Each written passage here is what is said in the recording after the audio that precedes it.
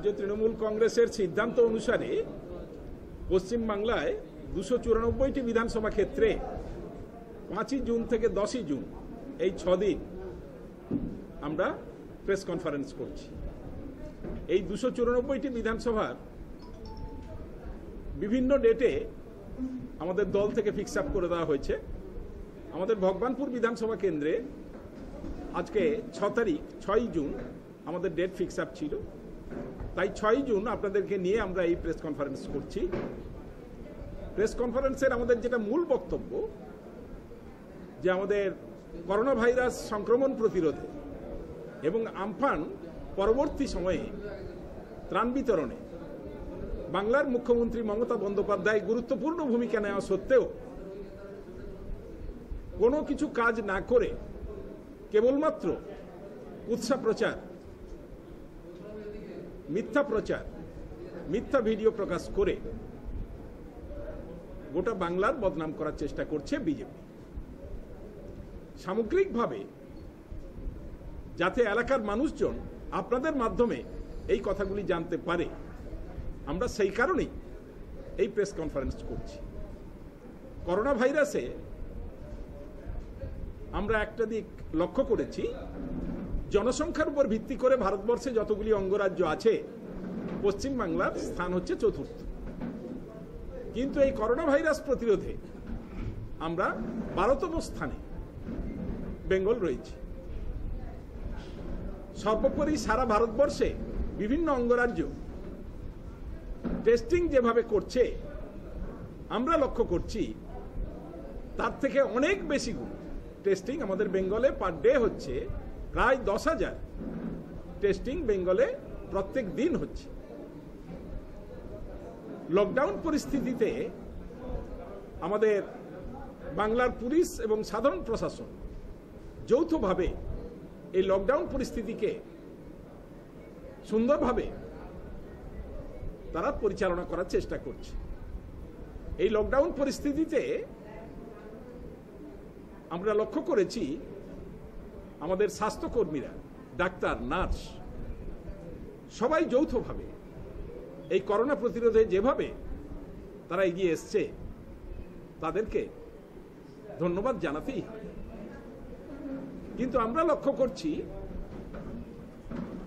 আমাদের এই আমফান ঝড়ে, সুপার সাইক্লোন এই আমফানে, সারা পশ্চিম বাংলায় এক লক্ষ কোটি টাকা ক্ষতি হয়েছে। তার জায়গায় কেন্দ্রীয় সরকার এ পর্যন্ত ওই এক হাজার কোটি টাকা দেওয়ার প্রতিশ্রুতি দিয়েছে। কিন্তু ইতিমধ্যেই বাংলার মুখ্যমন্ত্রী মমতা বন্দ্যোপাধ্যায় ছ হাজার পাঁচশো কোটি টাকা এই ত্রাণ বিলিতে খরচা করেছে।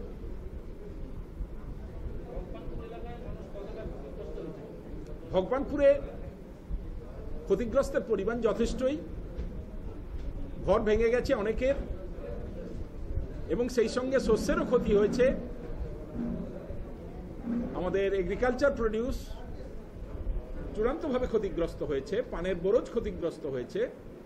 তবে ইতিমধ্যেই মমতা ব্যানার্জি খুব তড়িৎ গতিতে যাদের ঘর ভেঙেছে, তাদেরকে কুড়ি হাজার টাকা নগদ ট্রেজারির মাধ্যমে ডাইরেক্ট তাদের অ্যাকাউন্টে দিয়ে দেওয়ার চেষ্টা করেছে। এবং সেই সঙ্গে জব কার্ডের মাধ্যমে যাতে একশোটি ম্যান্ডেজ তারা পায়। পার ম্যান্ডেজ যদি দুশো চার টাকা করে হয়, তাহলে একশোটা ম্যান্ডেজে ওখানেও প্রায় কুড়ি হাজার চারশো টাকা তারা পায়। কখনোই এটা নয়, কারণ গতকাল মমতা ব্যানার্জি মুখ্যমন্ত্রী হিসাবে আমাদেরকে নিয়ে ভিডিও কনফারেন্স করেছিলেন। তিনি পরিষ্কারভাবে যে বার্তা দিয়েছেন যে এই ত্রাণ বিতরণে কোনোভাবেই রং দেখা হবে না। যারা ক্ষতিগ্রস্ত হয়েছে, তাদের সবাইকেই ত্রাণ দিতে হবে মমতা ব্যানার্জি বাংলার মুখ্যমন্ত্রী হিসাবে আরেকটি পদক্ষেপ যেটা গ্রহণ করেছেন যে ছ মাস বিনে পয়সায় রেশন। এপ্রিল, মে, জুন প্রত্যেকে পাঁচ কেজি করে চাল পাচ্ছে।